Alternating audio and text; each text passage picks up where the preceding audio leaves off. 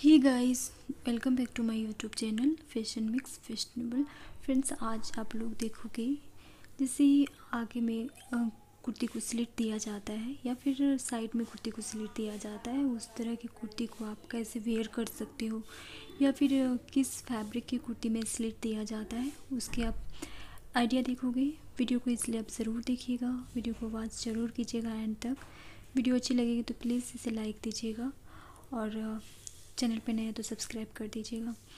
Friends आप जो कोई भी कॉटन फैब्रिक में भी जो है स्लिट दे सकते हो या फिर आप प्रिंटेड फैब्रिक भी बाई कर सकते हो, उसमें भी स्लिट दे सकते हो या फिर आप जो है सिफॉन फैब्रिक बाई करके उसके कुर्ती बना सकते हो और उसे स्लिट दे सकते हो। उसको जो है प्लाजो के साथ भी वेयर कर सकते हो बहुत ही ज़्यादा स्टाइलिश लगता है। जैसे कि आप स्क्रीन पे देख रहे हो।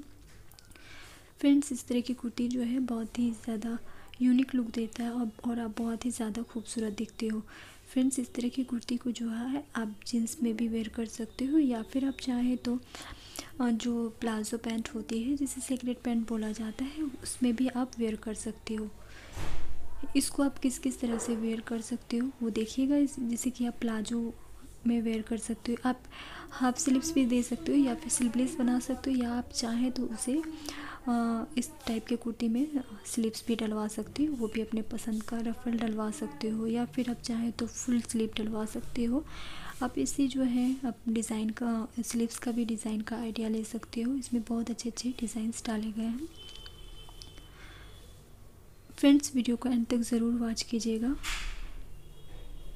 इस तरह की कुर्ती जो है बहुत ही ज़्यादा खूबसूरत लगती है। या फिर आप इस तरह भी यूज़ कर सकते हो सरब स्टाइल में, जैसे कि आप देख रहे हो। आप इसमें स्लिप्स का भी आइडिया ले सकते हो गाइस वीडियो अच्छी लगी तो प्लीज़ लाइक दे दीजिएगा। Thank you so much for watching